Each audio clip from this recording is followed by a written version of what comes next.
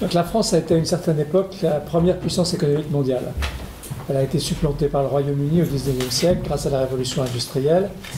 J'y reviendrai, puis par les États-Unis.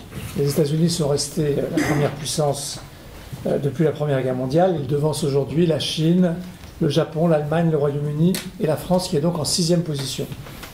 Mais dans les dix prochaines années, nous serons dépassés par l'Inde, le Brésil, le Canada, la Corée du Sud. En produit intérieur brut par habitant, la situation est bien pire. Nous ne sommes qu'au 24e rang, avec un PIB de 33 000 euros par habitant contre 68 000 en Suisse, 58 000 en Irlande, 36 000 en Allemagne. Pourquoi est-ce important? Parce que ça reflète le niveau de vie des Français qui a peu progressé au cours des dernières années. Et même si la corrélation n'est pas parfaite, les personnes qui vivent dans un pays avec un niveau de vie élevé se sentent plus heureuses que celles qui vivent dans un pays avec un niveau de vie bas. Et parce que ce sont les politiques économiques qui ont été conduites par nos gouvernements depuis 40 ans qui, nous ont, qui ont conduit à ce résultat. Vous pourriez penser, comme François Hollande, qu'il existe des cycles économiques et que, les et que les politiques économiques ont peu d'impact sur les cycles. Et que donc en politique, il faut surtout avoir de la chance.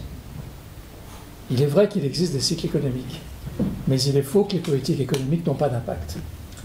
L'OCDE, dont Organisation de coopération et de développement économique, dont fait partie la France et dont le siège est tout près d'ici, à la Muette, fait chaque année l'analyse des politiques économiques des pays qui en sont membres.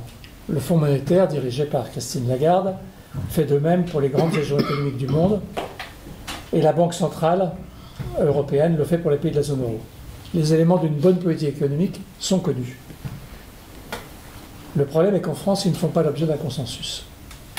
Et je suis convaincu que les déficiences de l'ancienne banque d'économie en France en sont largement responsables.